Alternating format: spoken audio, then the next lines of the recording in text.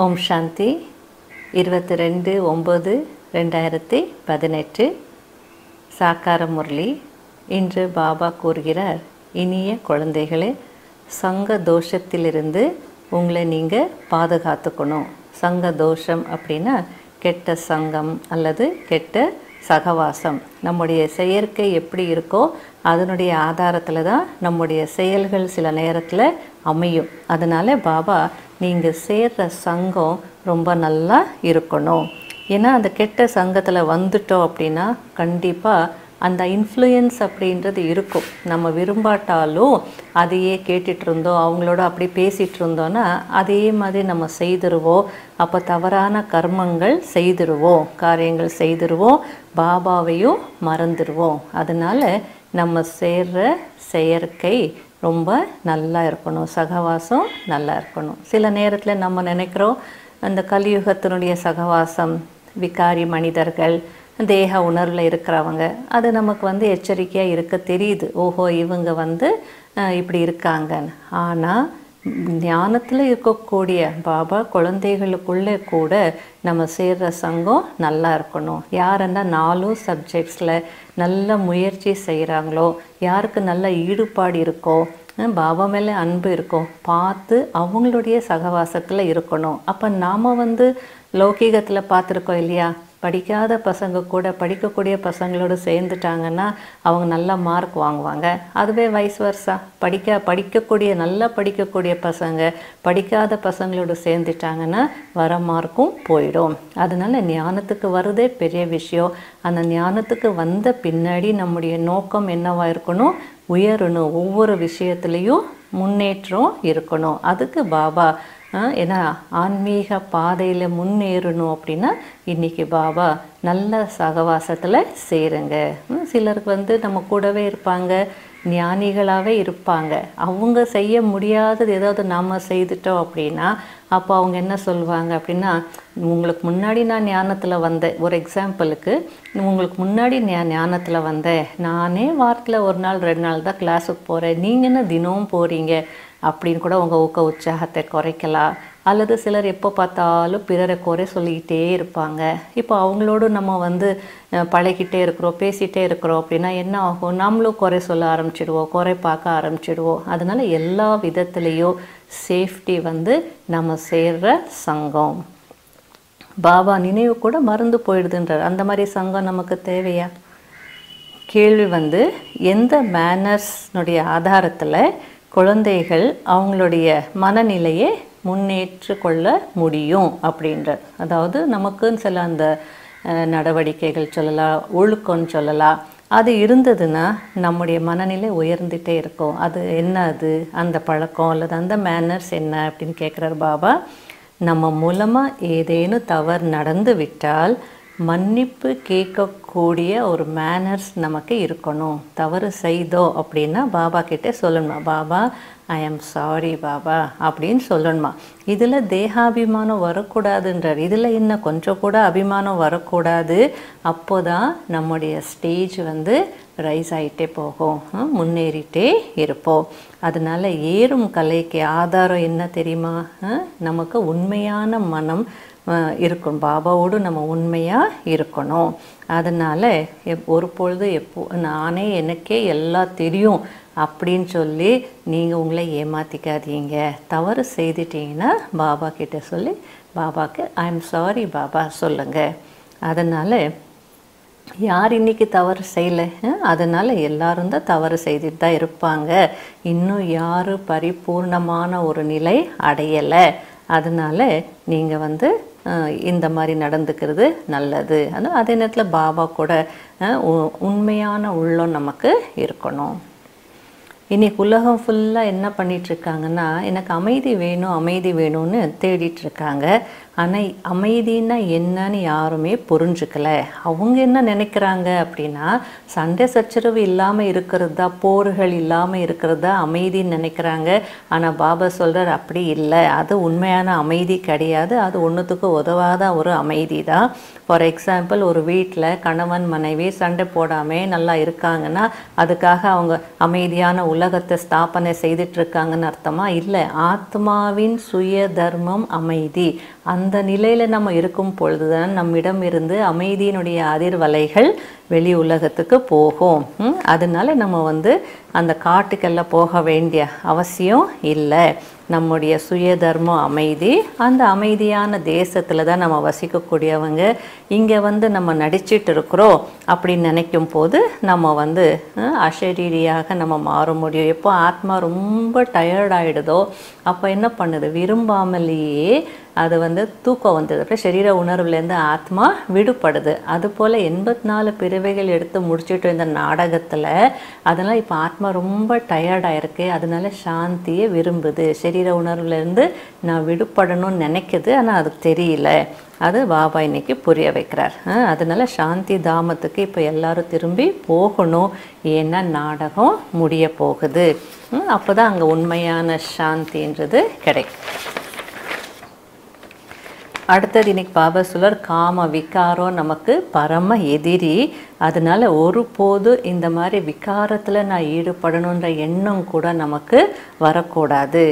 அது அப்படியே எனக்கு அந்த எண்ணம் கூட நம்மளை என்ன ஆக்கிடுறது? அழுக்காக்கிடுறது. அதனால நீங்கள் இப்படி நினச்சிடாதீங்க. இங்கே வரவங்க எல்லாம் ரொம்ப வந்து தூய்மையாக இருக்கிறாங்க அப்படின்னு இல்லை. அவங்க இன்னும் அவங்க புத்தியில் ஸ்தூலத்தில் அவங்க அந்த காம விகாரத்தை விட்டு பிரம்மச்சரியத்தில் இருக்கலாம். ஆனால் புத்தியில் இன்னும் அந்த விஷம் வந்து போகலை அப்படின்றார். கிளாஸுக்கு வரக்கூடியவங்க கூட. அதனால ஒரு சிலர் வந்து பார்க்கும் போதே அப்படியே ஒரு சிலரை பார்க்கும் போதே இவங்களுக்குள்ளுக்குள்ளேயே புயல் அடிக்குதா? அதாவது ஆஹ், அதை ரெண்டு யுகங்களாக கலியுகத்தில் நம்ம தேக உணர்வில் வந்துட்டு விகாரத்தில் வந்துட்டு அப்படியே பார்க்க பார்க்க நம்ம பார்த்து பார்த்து பழகிட்டோம். அந்த கண்களுக்கு இப்போ பழகி போச்சு. அழகான விஷயங்கள் அல்லது அழகில்லாட்டலும் பார்த்து ரசிக்கிறது அப்படின்றது பழகி போன ஒன்று. அதனால் கிளாஸில் உட்காந்துட்டு இருப்பாங்க. யாராவது வராங்கன்னா உடனே எல்லாரும் அப்படியே பார்ப்பாங்க. அந்த கண்கள் அப்படியே அவங்கள ஃபாலோ பண்ணிகிட்டே போகும். இதெல்லாம் தவறுன்றார் பாபா. அதாவது அந்த கண்கள் பார்க்கும்போது அப்போ வந்து என்ன ஆயிடுது? அவங்க பின்னாடியே போயிடுது. அல்லது மனசுக்குள்ள அடையணுன்ற புயல் அடிக்குது. அதெல்லாம் கூட காம விகாரத்தினுடைய வேலைகள் தான் அதனால யாரையும் வந்து நம்முடைய கண்கள் யாரையும் பின்தொடர்ந்து போகக்கூடாது. யாரை ஃபாலோ பண்ணக்கூடாது பாபா வீட்டில் உட்காந்துட்டு இருக்கிறோம். பாபாவை பார்த்துட்டு இருக்கிறோம் இல்லை முரளி நடந்துட்டுருக்கு அந்த நேரத்தில் யாரோ வந்தாங்க அப்படின்னா அந்த கண் அவங்கள பார்க்குது. சில நேரத்தில் எனக்கு வந்து சொல்லிவிடுவேன் கிளாஸ்லையே என்ன யார் வந்தாங்க? அவங்க என்ன சினிமா ஆக்டர்ஸா செலிப்ரிட்டிஸா தினம் வரவங்க தானே ஏன் அவங்கள பார்க்கக்கூட? அந்த பழக்கம் கண் ஆட்டோமேட்டிக்காக போகுது. அதனால் அதெல்லாம் நம்ம சுயராஜ்ய அதிகாரின்னா அந்த கண்கள் என்னுடைய கண்ட்ரோலில் இருக்கணும். பாபா என்னை பார்த்துட்டு இருக்கும் போது நான் மற்றவங்கள பார்க்குறதா? பாபாவுடைய பார்வையில் அந்த கண்காணிப்பில் நான் இருக்கிறேன்னு சொல்லும்போது இப்போ நான் இன்னொருத்தரை பார்த்தேன் அப்படின்னா அப்போ வந்து தூய்மைக்கு பாபா மார்க்கை கொடுப்பாரா? இதெல்லாம் ரொம்ப ஆழமாக சிந்தித்து அந்த ஏதோ சாதாரண செயல் தான் இயல்பான செயல் தான் நம்ம நினைக்கிறோம். ஆனால் அதுக்குள்ள உள்ளுக்குள்ளே பாபா சொல்கிற புயலே வரும் சில நேரத்தில். அதனால பார்க்க வேண்டாம். யாரையும் பார்க்க வேண்டாம். யாரோ பா வராங்களா உட்காருவாங்க. டியூட்டி இருக்கிறவங்க அவங்கள அட்டென்ட் பண்ணுறாங்க நாம் அவங்கள வந்து கண்ணிலேயே வெல்கம் பண்ணி அவங்க உட்கார்ற வரைக்கும் கூட்டிகிட்டு போய் கண் நம்முடைய கண்கள் அவங்கள கூட்டிகிட்டு போய் உட்கார வச்சிட்ருது அதனால் பாபா வந்து கவனமாக இருங்க. யாரோ ஒரு ஒரு ஆத்மா பற்றி பாபா எக்ஸாம்பிள் கொடுக்குறாரு. ஒரு நல்ல குழந்தையா அவர் அன்பான குழந்தையா இருந்தாங்க அன்பிற்கு பாத்திரமாக இருந்தாங்க. நல்லா ஒபீடியண்ட்டு இருந்த அப்படின்னா நல்லா கீழ்ப்படிந்த குழந்தையா சேவை செய்யக்கூடிய குழந்தையாக இருந்தார் ஒருத்தர். மாயா வந்து ஓங்கி யாரே கொடுத்தது பாருங்கள் ஒரே அடியாக கதையை முடிஞ்சது இருந்து போயிட்டாங்க அப்படின்னா ஞானத்தை விட்டு போயிட்டாங்க. என்ன பண்ணுறது இது கூட ட்ராமா அடுத்தது வந்து பாபா என்ன சொல்கிறார் அப்படின்னா நிறைய குழந்தைகள் இது ஒரு முக்கியமான ஒரு பாயிண்ட் ஞானத்துக்கு வந்த பின்னாடி அஹ், பாபா என்ன சொல்கிறார் பாபா கிட்ட கம்ப்ளைண்ட் பண்ணுவாங்களா புகார் பண்ணுவாங்களா? பாபா கெட்ட கெட்ட கனவுகள் வருது அசுத்த கனவுகள் வருது அப்படின்னு. இது கூட ஒரு விதத்தில் கர்ம கணக்கு. நம்ம மனதினால் நிறைய பாவங்கள் செய்திருக்கிறோம். நினைக்கக்கூடாததெல்லாம் நினச்சிருக்கிறோம்.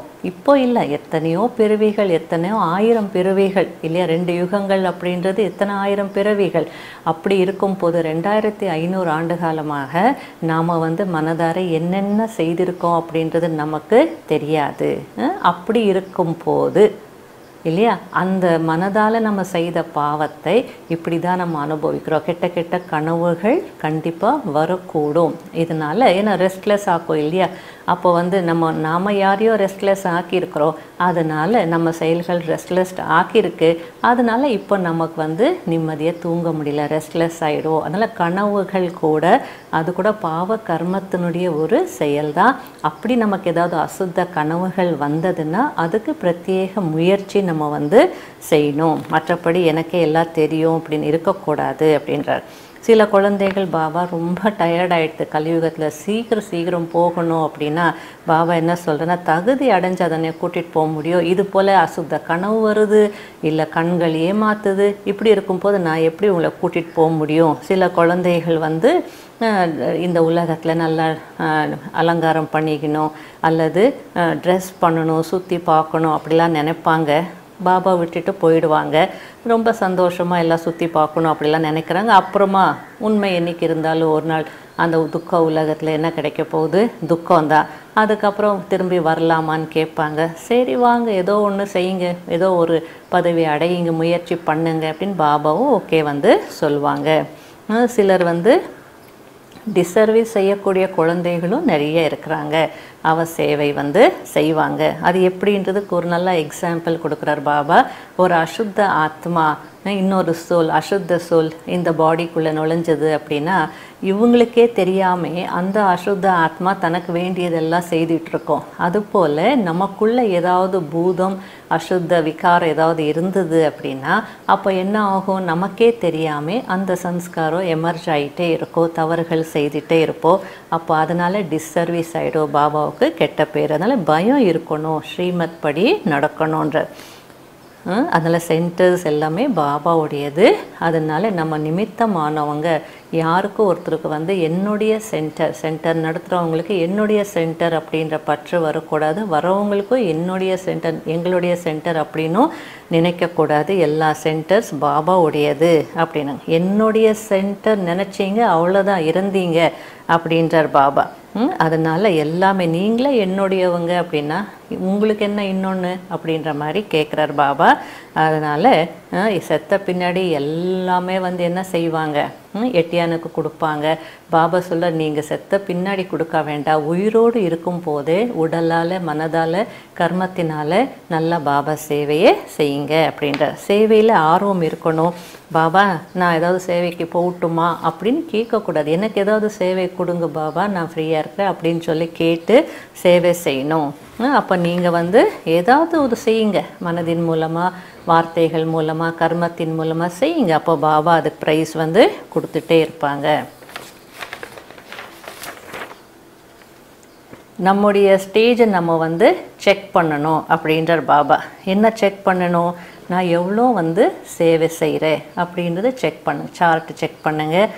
அது மட்டும் இல்லை நான் எவ்வளோ ஒபீடியண்ட்டாக இருந்து செய்கிறேன் கீழ்ப்படிந்து நான் செய்கிறேன் எவ்வளோ அன்பிற்கு பாத்திரமாக இருந்து நான் செய்கிறேன் அப்படின்னு சொல்லி பார்த்துக்கோங்க ஏன்னா வெளி உலகத்தில் எவ் எவ்வளோ கஷ்டங்கள் இருக்குது அதனால் பாபா வந்து சேவைக்காக துடிக்கணும் அப்படின்றார். பாபா பாபாவுக்கு சொல்லி பாபா வெளியில் ஆத்மாக்களோட துக்கத்தில் இருக்காங்க. அப்படி நான் சேவை செய்யணுன்றது துடிக்கணும். போய் அவங்களுக்கு செய்யணும். அவங்களுக்கு உயிர் பிச்சை கொடுக்கணும் அப்படின்றதெல்லாம் பாவம் எவ்வளோ துக்கத்தில் இருக்காங்க அப்படின்ற உணர்வு வரும்போது தான் நம்ம சேவை செய்ய முடியும். கடைபிடிக்க வேண்டிய முக்கியமான சாராம்சம் ஆன்மீக வழிகாட்டியாக இருந்து உண்மையான யாத்திரையை செய்யணும் செய்ய வைக்கணும். புத்தி யோகத்தை மிகவும் வந்து கவனமாக வைத்து கொள்ளணும். அதாவது என் மீது எனக்கு வந்து மிகுந்த எச்சரிக்கை இருக்கணும். புத்தி யோகம் எங்கேயோ போயிடும் இல்லையா? ரெண்டாவது பாயிண்ட் வந்து பாபா கூட எப்போவுமே உண்மையாக இருக்கணும். கர்மாதீத்த நிலை அடையிறதுக்கு முயற்சி செய்யணும். உயிரோடு இருக்கும் போதே அனைத்தையும் பாபாவுக்கு ஒப்படைத்து நம்ம வந்து நம்முடைய அனைத்து விஷயங்களை பயனுடையதாக ஆக்க வேண்டும் அப்படின்னு. வரதானம். தன்னை சங்கம யுகத்தின் நிவாசி என்று உணர்ந்து சங்கம யுகத்தில் இருப்பவன் என்று உணர்ந்து வீணான விஷயங்களையும் நல்லா வந்து சக்திசாலியாக மாற்றக்கூடிய சக்திசாலி ஆத்மா ஆகங்க. அப்படின்றார். இன்னைக்கு பாபா அந்த சங்கம யுகம் அப்படின்ற வார்த்தைக்கு ஸ்ட்ரெஸ் கொடுக்குறார். சங்கம யுகத்தில் நான் வாழ்ந்து கொண்டிருக்கிறேன். நான் சங்கம யுகத்தின் பிராமண ஆத்மா. இது சக்திசாலியான யுகம். அப்போ வந்து இந்த ஞாபகம் நமக்கு இருந்தது அப்படின்னா அப்போ இந்த சக்திசாலி யுகத்தில் வசிக்கக்கூடியவன் சக்திசாலி தந்தையினுடைய குழந்தை சக்திசாலி ஆத்மா நான் அப்படி இருக்கும்போது வேஸ்ட் எல்லாம் என்ன ஆகிடும் முடிஞ்சிடும். பாருங்கள் யுகம். நம்ம வாழ்ந்துட்டு இருக்கிற யுகம் எப்படிப்பட்ட யுகம்? சக்தி வாய்ந்த யுகம். அப்போ நான் யாருடைய குழந்தை? சர்வசக்திவான் தந்தையினுடைய குழந்தை. அப்போ வந்து அப்போ வேஸ்ட் எல்லாம் என்ன ஆகிடுது என்ன பண்ணணும்? வேஸ்ட் வந்து சக்திசாலியாக நம்ம வந்து மாற்றணும் ஏன்னா நானும் சக்திசாலி ஆத்மா தான். கலியுகத்தில் வேஸ்ட் இருக்கதா செய்யும். ஆனால் நீங்கள் இப்போ கலியுகத்துலேருந்து ஒதுங்கிட்டீங்க. சங்கம யுகத்துக்கு வந்துட்டீங்க.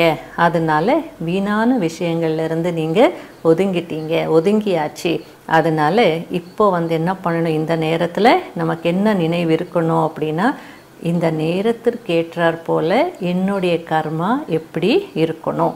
இல்லையா? அப்போ அந்த நேரத்தினுடைய உணர்வு வேல்யூ நமக்கு இருந்தது அப்படின்னா அந்த சி அது மட்டும் போதுன்றாங்க நான் எந்த நேரத்தில் இருக்கிறேன்? அந்த வேல்யூ நமக்கு இருந்தது அப்படின்னா ஆட்டோமேட்டிக்காக கர்மாவும் நல்லா அதுக்கேற்ற மாதிரி நடக்கும்.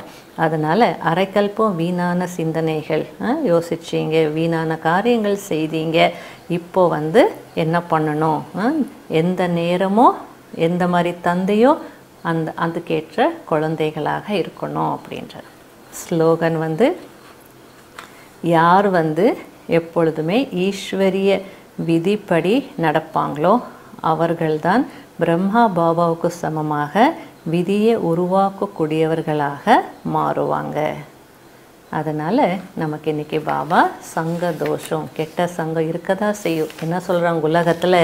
அந்த எறும்பு கூட எறும்புக்கு கூட நீங்கள் சர்க்கரையும் உப்பையும் கலந்து வச்சிங்கன்னா அந்த உப்பை நீக்கிட்டு சர்க்கரை மட்டும்தான் எடுத்துக்கிட்டு எறும்பு போயிட்டே இருக்குமா? அதுபோல் உலகத்தில் எல்லாருமே இருக்கிறாங்க நல்லவங்க கெட்டவங்க. நம்ம செலக்ட் பண்ணுறதுல ரொம்ப கவனமாக இருக்கணும். அப்போ நல்ல அந்த செலக்ட் பண்ணோம். சாய்ஸ் இருக்குது நமக்கு. அப்போ நல்லது செலக்ட் பண்ணோம் அப்படின்னா அந்த சர்க்கரை போல் நமக்கு நம்முடைய வாழ்க்கையும் இனிமையாக இருக்கும். அதே நேரத்தில் வெற்றிகரமாக நம்ம முன்னேறி கொண்டே போகலாம்.